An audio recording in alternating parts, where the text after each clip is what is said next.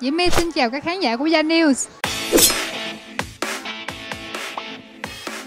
Biết đồ tá đạo, nơi câu hỏi không đỡ nổi. Diễm My hiện là cái tên đang được chú ý của showbiz Việt với khả năng diễn xuất ổn cùng ngoại hình xinh đẹp. Sự nghiệp phim ảnh của Diễm My dần được khán giả yêu thích.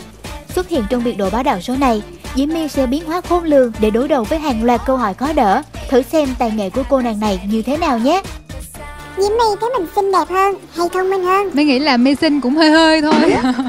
Còn thông minh nhiều hơn. Có cảm thấy ganh tị với vai kiều thị của Thanh Hằng trong mỹ nhân kế hay không? My nghĩ là chị à, Thanh Hằng cái độ manly của chị là không ai sánh bằng. Và chị là cái người mà diễn cái vai diễn đó đỉnh nhất. Vai diễn nào mà Diễm My muốn đóng nhất nhưng vẫn chưa được diễn xuất? À, thiệt sự thì My rất là ước mơ được đóng vai người yêu của nam diễn viên chính trong bộ phim Fast and Furious.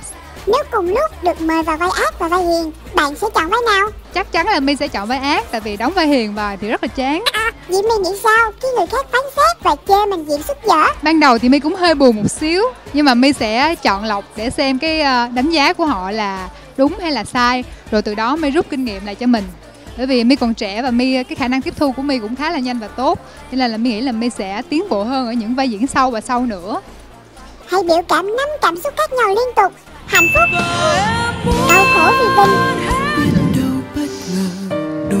Giận dữ.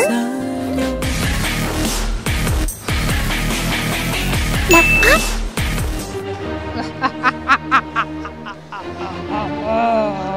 khóc, chết rồi cái này cái này phải cần thời gian.